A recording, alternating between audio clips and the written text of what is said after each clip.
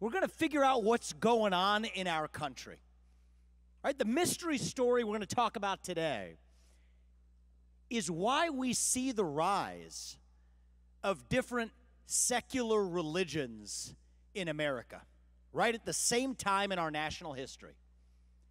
The first secular cult we see in America is this new dogma that says your identity is based on the color of your skin. That if you're black, you're disadvantaged. That if you're white, you're privileged. No matter your economic background or your upbringing, your race governs who you are and what you can achieve in life. It's what Don Lemon told me on the stage when before he got kicked off out of CNN, the last interview he did with me, he said that you can't say it if you don't have black skin. Now, good news for him is they canned him after that. That was a good that was a good result from that interview. so I was, I was happy to play a role in that. But, but it's not just him, right? It, it, this is a pervasive dogma in our culture.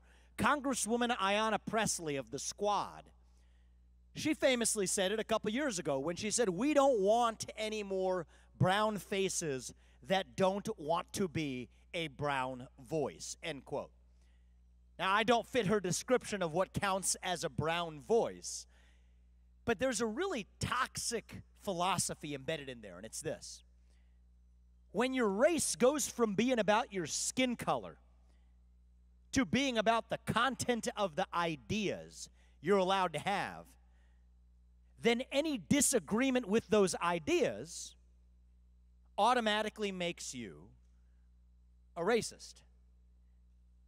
And there is no greater damnation in modern America than to be called a racist. So, when given the choice, between pledging allegiance to this new religion and being tarred with that scarlet R, everyday Americans are choosing to bend the knee. And that's created this new culture of fear in our country fear of losing your jobs, fear of your kids getting a bad grade in school, fear of becoming an outcast in your own community. So that, that's the first of these secular cults in America. I could go on about it, but I'm going to make a point here. There's the rise of a second secular cult right at the same time. This is the cult of gender ideology. This one says that there's so many little letters in it LGBTQIA, they just put a little plus at the end of it. So many other letters to keep track of. This one says that the sex of the person you're attracted to is hardwired on the day you're born. Yet now your own biological sex is totally fluid over the course of your life. These two things can't make sense if you're applying logic. But if you're subscribing to a secular cult, then you can believe these things at the same time. Now, right at the time, you have the cult of gender ideology, you have ra- racial wokeism. Now we see the rise of this new cult. Now, this one looks like it's here to stay unless we do something about it, and we will.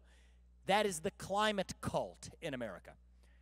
All right, that is this new cult that says we have to stop burning carbon here in the United States or carbon emissions of any kind, that we have to adopt electric vehicles at all cost, even as we ship those same carbon emissions to places like China. That doesn't make sense if supposedly you're addressing global warming. The same cult is hostile to nuclear energy, the best known form of carbon free energy production known to mankind. So, so the question here today is do you think it's a coincidence that we see the rise of these different secular religions at the same time? It is not. These are symptoms of a deeper cancer in our country. In recent weeks, I offered unprecedented detail on exactly how we would shut down the administrative state the anatomy of how we would dismantle the U.S. Department of Education and reorganize some of those functions into the Department of Labor under vocational training while shutting down the rest, giving money back to the states and to the people. How we would shut down the FBI, taking those 35,000 employees and breaking them into two categories the 20,000 who actually should find honest work in the private sector and get out of government, versus the 15,000 special agents and investigators on the front lines who could be reorganized into the U.S. Marshals, the Drug Enforcement Agency, and the Financial Crimes Enforcement Network that haven't been politicized in the same way as the FBI. I've explained the legal authority that we would use to get that done on a strong constitutional basis that gives the U.S. president that power. That's the stage of the campaign we're moving into. And one of the issues I will be most focused on is the effects of shutting down those regulations and that regulatory state on stimulating our economy. That's something that affects all Americans, black or white, Democrat or Republican, and something that a businessman myself, I have a deep understanding of how to actually address. The numbers on the surface are deceiving. Biden says that unemployment is low, it's only 3%. Well, the reality is the unique challenges we face today are different. They're on the side of productivity, on the side of actual GDP growth. The real problem for businesses today is that we have more job openings than we do have people in this country. So the facial unemployment number is the wrong number to look at. We need to get to the essence of how we actually fill those vacancies in the workforce, stimulate economic growth, actually stimulate productivity in this country, not through more hiring in the government, but through more productivity in the private sector in the coming months, we're going to be getting into the details of the how, the focus on not just our cultural cancers in this country, but how those cultural cancers have infected our economy to make us less productive. Why, when we're less productive, we prosper less as Americans, and why, when we prosper less, we lose our sense of national pride. We wonder why young people are no longer proud to be an American. One of the secrets is people tend to be more proud of a country when we're all making more money in that country. I'm going to be offering a sweeping economic vision of how we lead our nation forward back to prosperity, back to 4 plus percent GDP growth. That's a big part of how we revive our national identity. That's the phase of the campaign we're now entering. You now know me, you now understand my broad vision, but it's now my job to tell you exactly how we will get that job done. And my commitment is that we will lead the way in this race, as we already are, in offering unprecedented detail and specifics. That's against the advice of my political advisors. They tell me to dumb it down, to keep it simple. I view it the other way.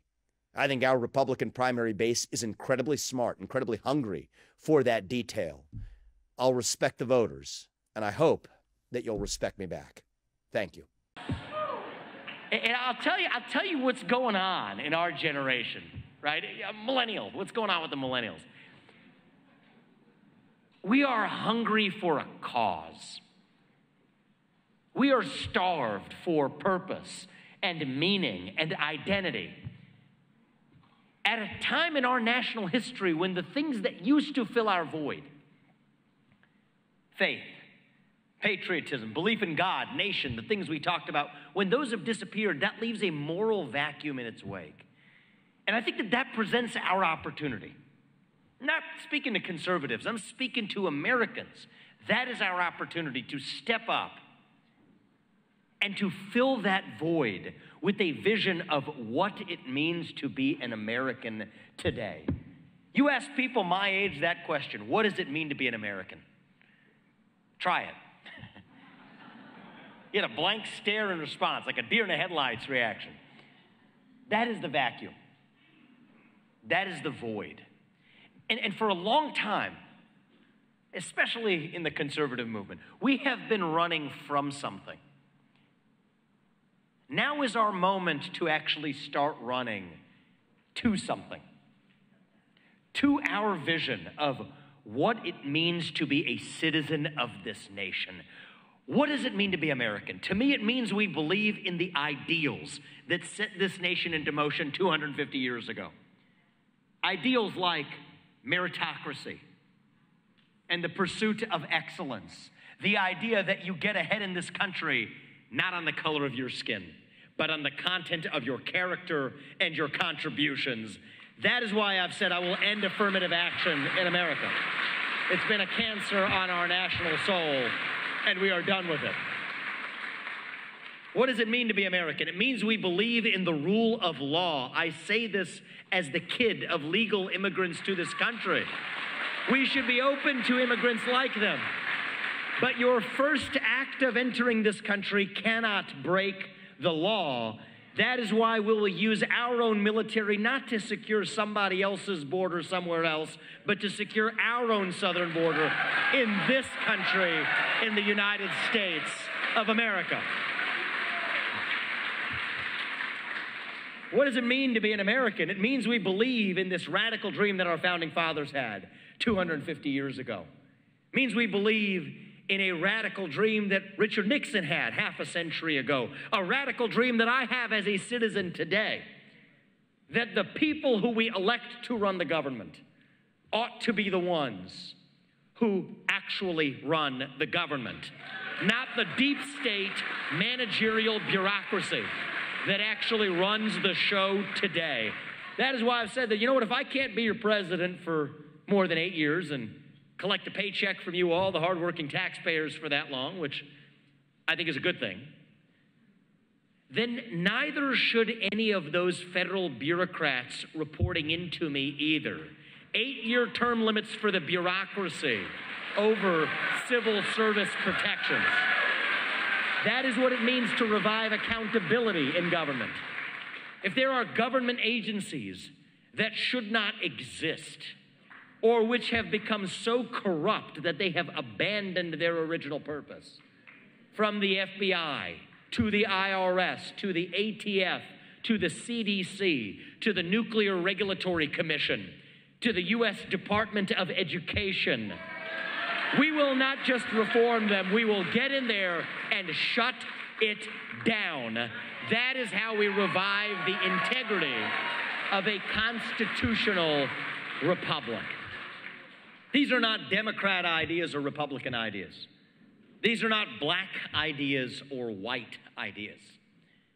These are fundamentally American ideals that we fought a revolution for in 1776 where we said, we the people create a government that is accountable to us, not the other way around.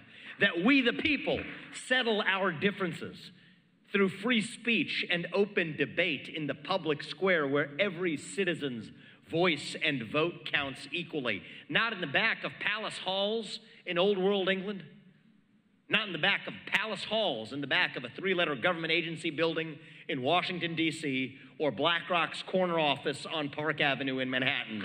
We, the people, settle these differences in a republic. The thing that motivates me is that, you know what, November 2024, that is not a destination. That is the starting line. The destination for us in our next leap will be January 2033 when I leave office. and we drop the mic. I'll tell my two sons, my older son, he won't even be in high school yet. I want to tell them what we actually did. I want to tell you all, what did we actually do? It's not a lot a U.S. president can do, but there's a few things that we can do, actually, without asking anybody for permission. I will tell you that we no longer have four branches of government. We're back down to three. Okay, that we laid off properly 75% of the federal employee headcount in Washington, D.C. 75% can go home and find honest work. I will tell you that we are no longer dependent on our enemy, Communist China, for our modern way of life. We are independent in the United States of America. I will tell you that our economy is once again growing at the fastest rate in the developed world because we embrace capitalism instead of apologizing for our growth. And most importantly, I will tell you that my two sons and their generation, that they are once again proud to be citizens of this nation. I believe that is possible. I believe we together can create a country that they can be proud of again. For a long time, we have been taught, I've been taught, grew up into it for the last 20 years, to celebrate our diversity and our differences. So much that we forgot all of the ways that we are really just the same as Americans, bound by a common creed that set this nation into motion 250 years ago. I believe deep in my bones those ideals still exist, and I believe that we together can revive them. E pluribus unum. From many, one. That is the dream that won the American Revolution. That is the dream that reunited us after the Civil War. That is the dream that won us two world wars and the Cold War. That is the dream that still gives hope to the free world. And if we can revive that dream over group identity and victimhood and grievance, then nobody in the world, not a nation, not a corporation, not a virus is going to defeat us. That is what American exceptionalism is all about. And that is what we will revive to save this great nation. And the way we do it, thank you. It's good to be back. Appreciate the warm welcome. So listen, we're going to have a little bit of a little bit of fun tonight. We're not going to get angry about this, but I'm going to take us through a little bit of an inquiry to figure out what's going on in our country right now. Right, on one hand, we see the rise of these different secular religions. We're here to talk about true faith, but I'm going to go somewhere else first. We see the rise of these secular religions, what I'll call cults in the United States. The first of them is a cult of racial wokeism. I wrote a book about this a few years ago. A new cult that says your identity is based on your skin color that if you're black, you're inherently disadvantaged. That if you're white, you're inherently privileged. No matter your economic background or your upbringing, your race determines who you are and what you can achieve in life.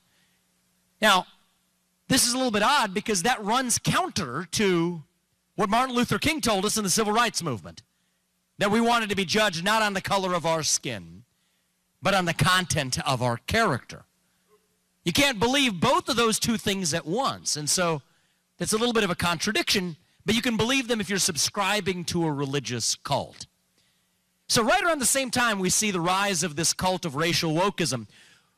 We see the rise of a different belief system. This one's the cult of gender ideology in the United States. This one has so many letters LGBTQIA, they just put a little plus at the end just to include the rest of the alphabet. This one has some interesting, and we're not going to be angry about it because we sometimes our anger clouds our judgment. If we want to get to the bottom of what's going on, we have to see it with clarity. This one says the sex of the person you're attracted to is hardwired on the day you're born because it had to be in order for gay rights to be civil rights. But now also says that your own biological sex is totally fluid over the course of your life. Again, you can't believe these two things at once, and then you go even one step further. There is no gay gene, but there are two sex chromosomes. Two X, you're a woman, X and a Y, you're a man, right? so you can't believe these two things at the same time if you're applying principles of reason or logic. But you can if you're subscribing to a secular cult. So you got racial wokeism, you've got gender ideology. Then at the same time, you see now the rise of this third cult in the United States, the cult of the climate, that says we have to abandon carbon emissions at all cost in the United States, even as we're perfectly fine shifting those same carbon emissions to places like China when they tell us it was supposedly about global warming. And then you see the same people who are opposed to carbon emissions in the United States are also the ones who are most opposed to nuclear energy, the greatest form of carbon free energy production known to mankind. These are contradictions. So I could go on all night. we could go one secular cult after another. But that's not my point. My point in raising this is to ask a deeper question what the heck is going on in our country that we see the rise of these very different secular cults at the same time? Here's the answer we're in the middle of a national identity crisis right now. Faith, patriotism, hard work, family. These things have disappeared, and that leaves a moral vacuum in its wake. And when you have a black hole that runs that deep, that is when the poison fills the void. I say this to you as a relatively young person doing what I'm doing now. I'm 38 years old. I'm a millennial. I was born in 1985. I'll tell you, speaking as a member of my generation, what's going on. We are hungry for a cause. We are starved for purpose and meaning and identity at a point in our national history when the things that used to fill that void belief in God, belief in country, belief in self these things have disappeared. And when you have a black hole in your heart, that is when the poison fills the void. Here's the actual secret. it almost doesn't matter what the poison is, actually. I've made this mistake over the last several years. I wrote my first book, Woke Inc., wrote a second book about victimhood culture. It's like playing a game of whack-a-mole. You get the wokeism down here, you got some transgenderism over there. Got that down, COVIDism over here, got that down, climatism's up again, globalism. It's, it's an endless cycle. But do you think it's a coincidence? Wokeism, transgenderism, climatism, COVIDism, globalism, depression, anxiety,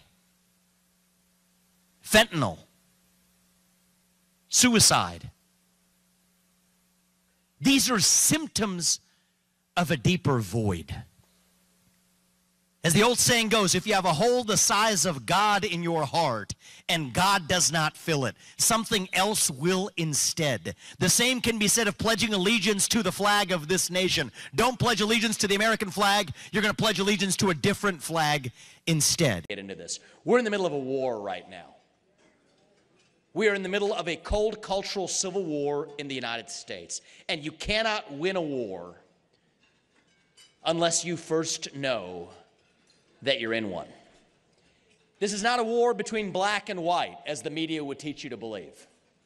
It is not a war between man and woman, or gay and straight, or even Democrat and Republican. It is a war between one side who loves the ideals of this country and the ideals that set this nation into motion, who believes that all men are created equal, endowed by their Creator with certain inalienable rights, among these, life, liberty, and the pursuit of happiness. Who believes that you get ahead in the United States not on the color of your skin, but on the content of your character and your contribution. Who believe in the American dream. The idea that you get ahead in the United States with your own hard work, your own commitment, your own dedication, and that you are free to speak your mind at every step of the way most of us in these countries share our common ideals in common. That is one side of this war. And on the other side, we have a fringe minority that has the current Democrat Party in a chokehold who believes that your identity is based on your genetics, your race, your gender, your sexual orientation that if you're black, you're inherently disadvantaged. That if you're white, you're inherently privileged. No matter your economic background or your upbringing, your race, your gender, and your sexuality determine who you are and what you can achieve in life. It believes we must flog ourselves for our success in this country, bending the knee to this new cult of climate change. That we have to stop carbon emissions here in the United States, even as we're perfectly fine shifting those carbon emissions to places like China who will say that it is racist to defend our own border with our own military, but is perfectly fine sending our own military to defend somebody else's border halfway around the world. who believes in group quotas over meritocracy. You see, these two sides of this war, why is this a war? Because those two worldviews cannot coexist. It's not a choice that you can have a little bit of both. It's either one or the other. You're either pro American or you're anti American. That is the choice we face in this moment. This is America's time for choosing once again. And I have some good news for you on this war. I have some good news and some bad news. The good news is, I'm convinced of this from traveling the country. I have been to a majority of states. There's no social media algorithms in the room between us today, there's no TV screens between us. The media will teach you one thing, but put that to one side. What I see when I travel this country is that most of us, 80 plus percent of this country easily, black or white, even Democrat or Republican, 80 plus percent of this country agrees on our shared national values. A majority of us are on the side of standing for the United States of America without apologizing for it. That's the good news. The bad news is that the other side is still winning. And so the question, really, for us to answer today is why? Here's what happened in our country First thing that happened is we had a culture of fear that spread across the United States like an epidemic, faster than COVID 19, okay? This spread, the true pandemic in this country and in the modern West was the spread of this culture of fear. Take the likes of Congresswoman Ayanna Pressley of the Squad, who famously said a couple of years ago, We don't want any more black faces that don't want to be a black voice. We don't want any more brown faces that don't want to be a brown voice. End quote. Think about that for a second. When your race goes from being about your skin color to being about the content of the ideas you're allowed to espouse, then any disagreement with those ideas automatically makes you a racist or a climate denier or a transphobe or a homophobe. And there is no greater damnation in modern America than to be called a racist or a climate denier. So, when given the choice between pledging allegiance to this new religion and being tarred with that scarlet R, everyday Americans are choosing to bend the knee. And that is what has created this new culture of fear in our country fear of losing your job, fear of your kids getting a bad grade in school, fear of becoming an outcast in your own community. And that culture of fear has displaced our culture of free speech in the United States of America. You want to know the best measure of our country's health? Is it the number of green pieces of paper in our bank accounts? That's important, but it's not the most important thing. Is it the number of ballots we cast every November? That's just the final act at the end of the process. The best measure of the health of our constitutional republic is the percentage of people who feel free to say what they actually think in public. That's the truth. Right now, we are doing poorly. The only way we're going to do better is all of us, not just me, all of us starting to speak openly again. But that's the first reason why the other side is winning. But it's no surprise how we got here. I actually wrote a book about this a few years ago Woke Inc. It is the inevitable result of this self loathing, anti American woke orthodoxy that has pervaded our universities, our companies, and nearly every major institution across this country over the last decade. History teaches us that anti Semitism is actually a symptom of a deeper cultural malaise. And I believe the left wing woke cancer was always destined to end in the destination of anti Semitism. I said this in my book several years ago. Now you look today, a recent poll finds that Gen Z is divided 50 50 on whether they support Hamas or Israel. Young people in this country are lost. I am 38 years old. I am the first millennial ever to run for US president. I can tell you what's going on in our generation. They are hungry for purpose, for meaning, for a cause, for identity. And for a generation, we've taught them to fill that hunger by going to Ben and Jerry's and ordering a cup of ice cream with some anti Semitic sprinkles on top. It's no surprise they're now spewing back that same anti Semitism coming out of their mouth in reverse. Shut down the deep state at home, declare independence from China abroad. But then we get to the real problem for how we win this war. We have to revive national pride in the United States of America. Young Americans, we are lost. I'm 38 years old. I'm the youngest person ever to run for U.S. president as a Republican. And I will tell you what is going on in our generation. We are hungry for a cause. We are starved for purpose and meaning and identity. At a time in our national history when the things that used to fill that void faith, patriotism, hard work, family. These things have disappeared. That leaves a black hole in our hearts. And when you have a black hole that runs that deep, that is when the poison fills the void. Wokeism, transgenderism, climatism, COVIDism, globalism, Zelenskyism, depression anxiety, fentanyl, suicide. Do you think it's an accident that we see the rise of these same poisons at the same time in our history? It is not.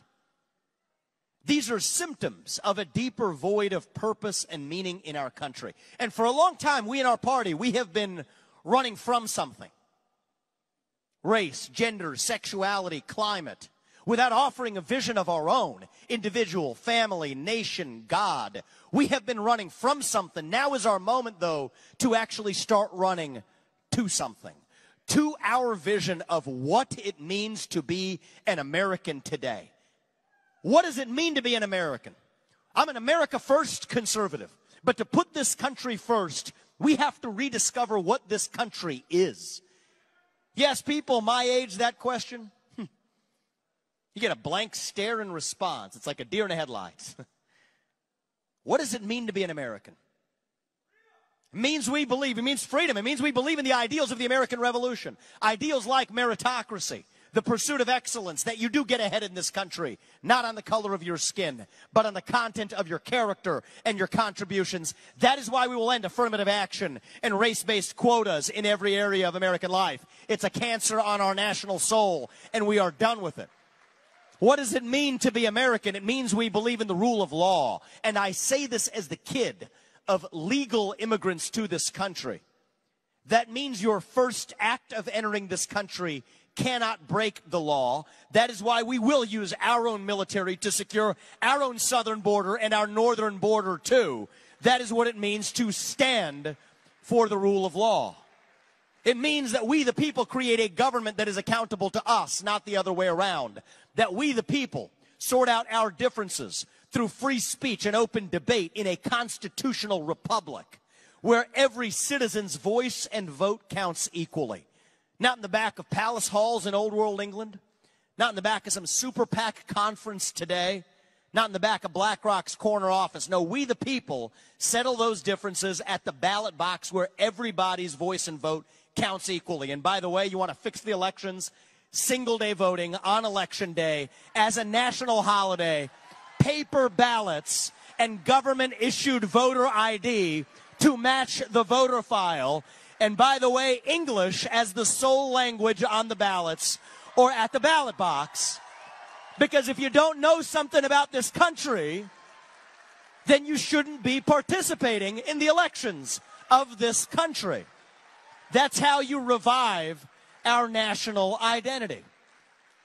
You want to end the identity crisis in this country, and I say this as the kid of legal immigrants to this country, that means we end birthright citizenship for the kids of illegal immigrants to this country that is not protected. This is what it means to be an American. I think every 12th grader who graduates from 12th grade should have to pass the same civics test that every immigrant has to pass to become a voting citizen of this country. We have to revive who we are as Americans. Now, let me tell you something. They'll talk to you about foreign wars. The truth is, we're in the middle of a war right here at home in the United States of America. It is not a war between black and white, as the media would teach you to believe. It's not a war, even really between Democrats and Republicans. Not really. It is far deeper than that. It is a war between the majority of us in the United States of America who believe that all men are created equal, endowed by their Creator with certain inalienable rights, among these life, liberty, and the pursuit of happiness who believe that you get ahead in this country not in the color of your skin, but in the content of your character, who believe in American exceptionalism, that nations have borders, that our nation has a border, that we will not apologize for having a homeland, that we will not apologize for our ideals, that even though we're an imperfect nation, we are founded on the pursuit of a more perfect union, the pursuit of liberty, equality, and justice for all. That is one side of this war. And on the other side of this war, we have those who say your identity is based on your race, your gender, your sexuality. Those who believe that if you're black, you're disadvantaged, that if you're white, you're privileged, no matter your background or your upbringing. Your race and your gender govern who you are and what you can achieve in life. Who believe that we have to stop burning carbon in the United States, even as we shift those same carbon emissions to places like China who believe that maybe we can use our military to protect somebody else's border halfway around the world, but it is racist or xenophobic to protect our own border with our own military here at home, who believe that we have to apologize for the ideals that this nation was founded on. Now, I call this a war because there's no middle ground in this war. You have to know that you're in a war to win one. Okay? Either you believe in meritocracy or you believe in group quotas. You cannot have both. Either you believe in free speech or you believe in censorship. You cannot have both. Either you believe in American exceptionalism or you believe in American apologism. You cannot have both. And now is our moment to choose who is the commander in chief who will lead us to victory in that war. I think it's going to take someone from the outside. And I believe me, I have I have respected Donald Trump more than anybody else in this race because he was the best president of the 21st century. I've said that before and I will say it again because it's the right thing to do. We will honor that legacy. I am in this race because I have fresh legs. I am from a different generation to reach the next generation of Americans. And that is what this nation is founded on. Thomas Jefferson, he was 33 years old when he wrote the Declaration of Independence. He invented the swivel chair while he was at it, too, by the way. That's the spirit we need to revive in this country. And I think it is going to take someone from the next generation to reach the next generation with our shared American ideals. When it comes down to the enemies we face here at home, starts right here with the deep state. That is the real enemy we face because it's not the people who we elect to run the government who run the government anymore. It's not. The people who we elect to run the government, they're no longer the ones who actually run the government. It is the managerial bureaucracy in the shadow government that pulls the strings today. So if we want to fix that problem, we got to get in there and shut government agencies down. You can't just tinker around the edges. The FBI, the ATF, the IRS, the CDC, the U.S. Department of Education. We will get in there and shut them down. Fire 75% of the federal bureaucrats. Rescind a majority of the unconstitutional federal regulations that act like a wet blanket on the U.S. economy. You know what? If I can't work for you all as the next president for more than eight years, which I think is a good thing, then neither should any of those federal bureaucrats reporting into me either. Eight year term limits for the bureaucracy. That is how we restore the integrity of a constitutional republic. Look abroad. Who's our real enemy? It's not Ukraine. It's communist China. And today, we depend on our enemy, China, for our entire modern way of life, from the shoes on our feet to the phones in our pockets. You want to fix that? This is how we declare economic independence from communist China. That is the Declaration of Independence that Thomas Jefferson would have signed if he were alive today. That is the Declaration of Independence that we need to sign to move this nation forward. Independence from semiconductors, from pharmaceuticals, from our military equipment here in this country that we depend on. We cannot depend on our enemy for our modern way of life. So let's start here and just make sure there's no division at this table. You know, because we're at the Thanksgiving table. Families are going to be traveling next week, Thursday. They're going to be celebrating everything that we've been blessed with in this country, gathering around a table like this. Uh, so this is more about you and not about whoever your opponent is. Even if it happens to be the former president or President Biden, this is about you.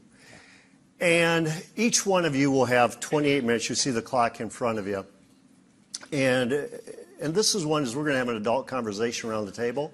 You know, speak when you want to speak, and when you speak, the time comes off, and when you don't, the time stops. All right? Ronald Reagan said this. So Ronald Reagan said, Great change begins at the dinner table.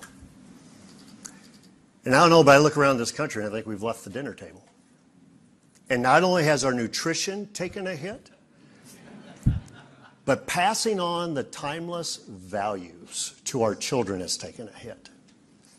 How do we restore, how do we restore America's children to the blessings of marriage, to parentings of a mom and a dad, where there's a dad in the household at the table, but to make family central again. How do we do that as a country? I'll, I'll maybe kick off with one reflection. I don't think it's going to be one silver bullet. It's not going to be some president coming from on high and fixing this. Uh, you know, I'm asking you to each of us is to make you that person, but we can't let each other off the hook. It's going to take individual responsibility and parental responsibility at every level. But what the government can do is stop paying people to do the opposite of that. I've been to the south side of Chicago, a room like this one. Looks a little different. Told it's 90% plus Democrat, 95% black in that room. Well, they're paying people more money, women more money, not to have a man in the house than to have a man in the house in the name of Lyndon Johnson's great society. So in some ways, you get what you pay for. So there's a whole debate about what role should the government play in fostering family. Let's start with the basics. Stop having a government that's paying people not to actually celebrate or embody the nuclear family. And I think that we talk about education a lot. The nuclear family is where it begins. That's the greatest form of governance known to mankind. And you know, I had the ultimate people ask you, did you grow up in privilege? My parents came to this country with no money. I didn't grow up in economic privilege, but I did have the ultimate privilege of two parents in the house with a focus on education and instilling in us a belief in God. And I think it's perfectly right for us, or whoever's the next president of the United States, to want to set an example such that every kid in this country can enjoy that same privilege. And I don't think we should apologize for it. Hmm. You know, add one thing to, to, what, sure. to what Ron said. I, I think that it's tremendous. I mean, to have governors who have actually implemented programs that have shown that level of progress. I think that's important. It shows how important policy is. I do think that there is half the job of being U.S. president that actually isn't about policy either. I think this is where this role is a little different than being a congressman or a senator or a legislator, all of which are important roles. But I think part of the role of being the U.S. president is we also set an example for our national character. And I've heard you say something similar to this, Bob, but I believe it too. I think it's been a long time since, certainly speaking for myself, that I could look my two boys in the eye and tell them in good conscience that I want you to grow up and be like him, whoever that is in the White House. And that's the standard I want you all to hold us to, whoever it is to say, I want you to stand, grow up to be like him or her, whoever that is in the White House. Hold us to that standard. And that's half the job of how I think the president stands for family, too, is the example that we set for the next generation. It's not just the policies. And I think that that's something that is about the standard we hold ourselves to, but that our voters hold us to as well. You know, in America, we combine statesmanship and the CEO role together. But we, we should never forget about being a statesman, is what you talked about.